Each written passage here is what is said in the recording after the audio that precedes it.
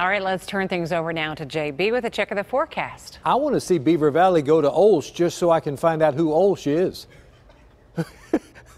Our Lady of Sacred Heart. Our Lady of Sacred Heart. Thank you, Mike Mason and Josh. Do appreciate it. All right, and good luck to all our area teams. Looks like it's going to be a wet one for you folks. Not so much tonight, although there are going to be some sprinkles tonight, but tomorrow night for sure. And as we head toward the weekend, things will get gorgeous again. But you're going to have to be patient. It looks like we'll still have some rain in here early Friday morning.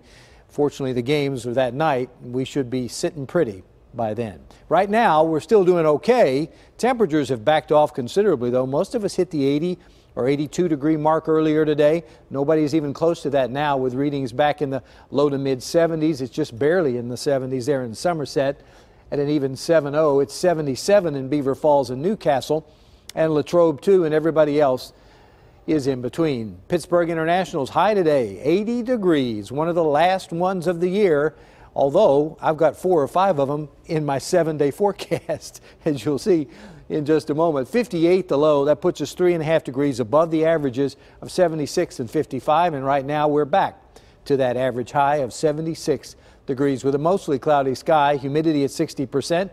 Winds out of the west right now at 5 miles an hour. They've never really been an issue all day long, nor will they be, by the way, with these remnants, so called remnants of Hurricane Irma rain showers, bands of rain moving in overnight and during the day tomorrow. Wind will not be a problem. Pressure uh, is holding steady right now, but fairly low at 2981, and the dew point is high. It's coming up.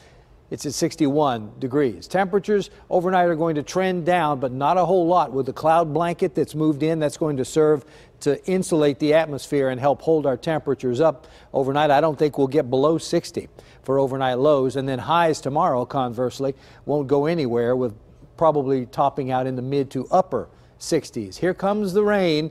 The leading edge not reaching the ground yet, but it is when you get back to Columbus, even Cambridge, Ohio now seeing rain at the surface, and that will work its way into KD country and be with us off and on overnight and through the day tomorrow. Mostly cloudy tonight. Showers will arrive across the entire region after midnight, but they'll start on the western flank right over on the Ohio line in the next couple of hours and continue overnight and throughout the day tomorrow. Fortunately, the shower threat ends early Friday, and I'm talking like 2 or 3 in the morning. All day Friday will be dry daylight hours and dry all weekend long as well. Forecast says showers mainly after midnight, but allow for a couple, especially to the west. 60 degrees our overnight low, our high tomorrow, not much more at 66 or 7, with showers off and on throughout the day and into the overnight hours. But they will get out of here early Friday. I think by 3 or 4 in the morning we'll be done with them. And then look where we go. It's off to the races, temperature wise, back up into the low 80s